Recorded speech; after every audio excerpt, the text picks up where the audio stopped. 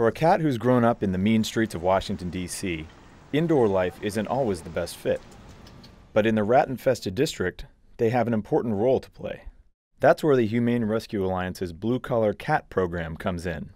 There were a lot of talks going into creating a working cat program. Hi, sweet girl. The profile of a blue collar cat is a cat who is cleared health wise and behaviorally not an adoption candidate, just fearful, really don't want people to touch you. These working class cats leave the indoor life of luxury to the feline bourgeoisie. Instead, they patrol backyards and alleys for furry foes. For many DC residents who've run out of options for getting rid of rats, they provide a creative alternative.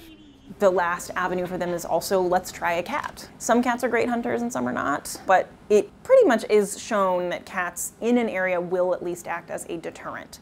Hey, girl. Arthur James was matched with a blue collar cat after his beloved cat Grady passed away.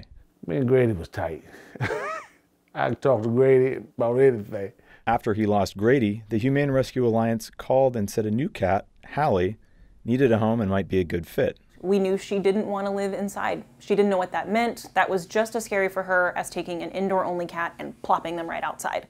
Hallie is one of more than 150 blue collar cats to find new homes in the past two years. She ended up being placed in a very similar area, going back into Southeast DC with somebody who had had a cat for many years but had gotten old and passed away. And he really wanted to take care of another cat, which was awesome because we had a cat.